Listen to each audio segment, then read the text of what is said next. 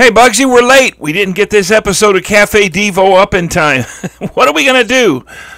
You know what? We could blame the heat. It's been really hot. Let's blame the. No, we can't blame the heat. But you know, we live in Durand, and everybody knows that trains come through, and that makes a lot of things late. And so let's blame the. Tra- no, we can't blame the trains. I know. Let's blame you. no, that wouldn't be fair either. It was me. I screwed up. Sorry, everybody. Today's episode of Cafe Devo is coming right up.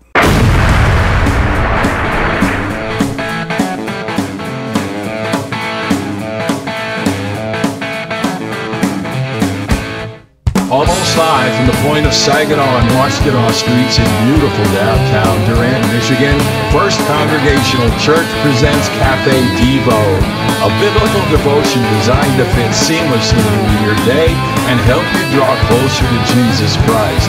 Thanks for tuning in. God bless you.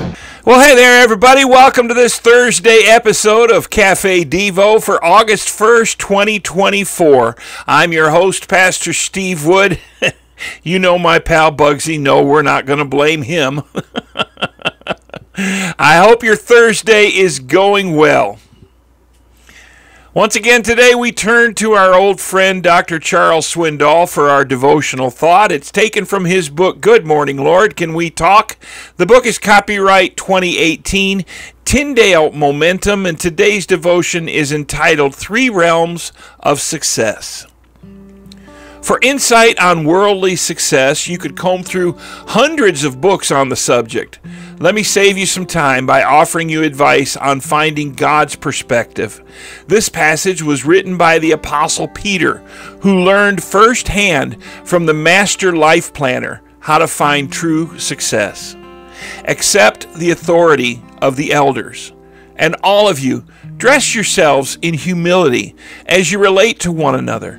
For God opposes the proud, but gives grace to the humble. So humble yourselves under the mighty power of God, and at the right time he will lift you up in honor. Give all your worries and cares to God, for he cares about you. That's 1 Peter chapter 5, verses 5 through 7. And so Peter offered three simple principles for finding success God's way. First, submit yourself to those who are wise. Listen to their counsel. Be open to their reproof. Accept their suggestions and follow their model. I can count on one hand the times I've regretted seeking someone's opinion on something I was struggling to manage, but I've lost track on, of the times I've stubbornly gone my own way and lived to regret it. Second, humble yourself under God's mighty hand. In the Old Testament, God's hand symbolized his discipline and his deliverance. When we humble ourselves under his hand, wanting him to grant us his kind of success in his time and in his way, we willingly accept his discipline as being for our good and for his glory. We gratefully acknowledge his provision for our need, regardless of the timing or the outcome. We back off and let God be God. Third, throw yourself on the mercy and care of God. Anxieties will come, troubles and disappointments happen in this life. Fears and worry will build up, sometimes leaving you weary and depressed. So, what should you do? Throw them back on the Lord. Cast your burdens, your cares, your anxieties on Him because He cares for you. Instead of spending all those hours pushing and promoting, try God's way of success. He may just grant you some time for yourself, plus a few extra hours to go fishing. Father, we thank you for this Thursday.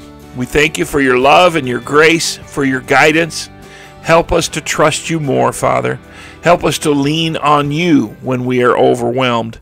Help us to follow your ways. We pray in the name of Jesus. Amen. Well, that'll do it for us on this Thursday episode of Cafe Devo. Better late than never, eh? I'm your host, Pastor Steve Wood, signing off for now. God bless you, my friends. I'll see you tomorrow.